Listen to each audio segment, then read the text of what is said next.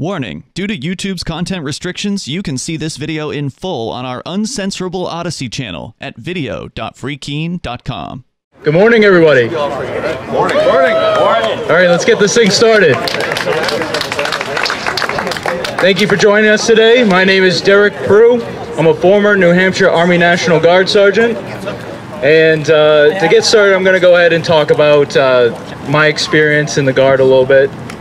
Um, I was a uh, 13 Mike, which is rocket artillery here in New Hampshire.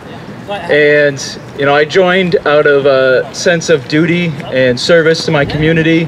Um, I wanted to go around and help out, plow snow or, or get cars out of uh, snowbanks, uh, help with flooding, uh, that sort of thing. Uh, stay close to home and protect my community. And you know, I also knew about, you know, possibly going overseas to go fight the bad guys. And uh, it really hit me when I read a story about a former airman. His name is Daniel Hale. And he was instrumental in leaking documents to the Intercept, which led to the drone papers. And in those documents, they discovered that 90% of drone strikes were not on the intended target. And so if they're not on the intended target, who are they hitting? And being artillery, we have to rely on the same intel that drone pilots are getting. And that hit me, you know, pretty deep right there. And uh, I started doing some more research into our involvements in the Middle East and, and prior conflicts. Um, really confusing how Al Qaeda could be our enemies in Iraq and Afghanistan, but then our allies in Yemen and Syria and Libya. Uh, it didn't quite make sense, and it seems that uh, the politics and, and, the wars and conflicts over in the Middle East were far more complicated than I had originally saw. And so from that, I found a gentleman. His name is Dan McKnight. He was a sergeant in the Idaho National Guard.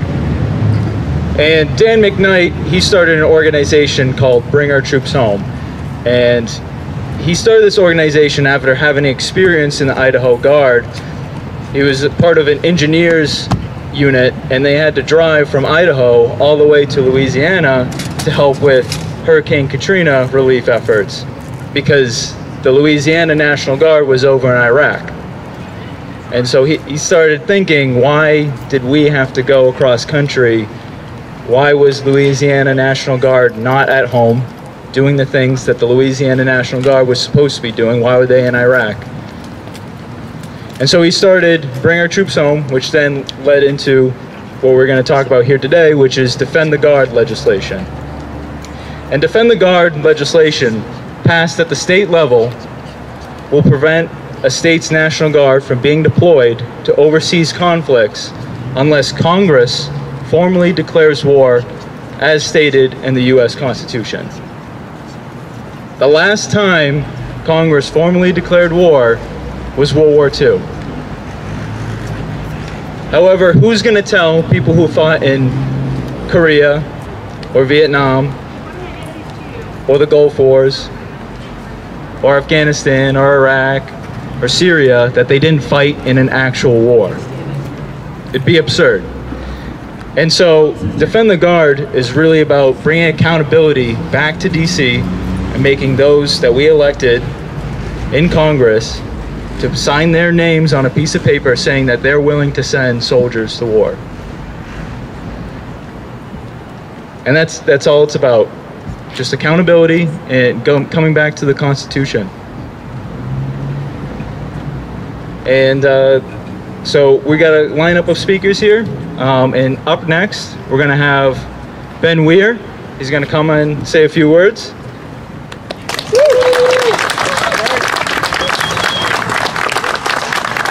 What's up, guys? Uh, for anyone who doesn't know me, my name is Ben Weir. Um, I'm a former infantryman in the U.S. Army. Uh, I'm also a national organizer for the Veterans Caucus of the Libertarian Party.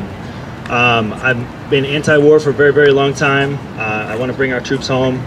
Uh, I'm kind of going to start off with a quote by James Madison, which says, "The means of defense against foreign danger historically have become instruments of tyranny at home." How true is that? I mean, like we're we're here. I'm gonna drop a couple truth bombs on you. Um, you know, we're, we're still at war with six different countries. In 2018, FreeKeene teamed up with LBRY.com to back up our YouTube.